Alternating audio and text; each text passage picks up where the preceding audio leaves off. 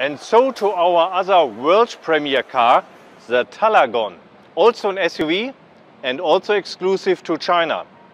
With the Talagon, we have created a perfect fusion of an SUV and an MPV for our Chinese customers. Based on our latest MQB37W platform, the Talagon gives our brand here in China an even more premium positioning while opening up a new customer segment. So let's take a look at the interior. High quality materials together with class leading roominess, if you look around, and versatility provide really a premium feeling and the free floating dashboard design adds additionally to the spaciousness. We will be offering the Talagon as a super comfortable six-seater with captain chairs as well as a family-friendly seven-seater.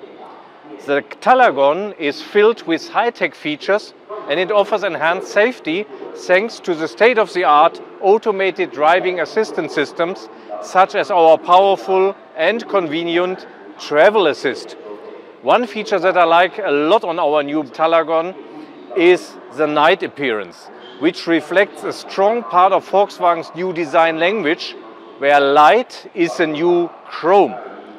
The Talagon is our first car that really embraces this from the illuminated rear logo to the illuminated door handles and illuminated roof rails. This light package gives our new Volkswagen car a very modern and unique look, both in the daytime and particular at night.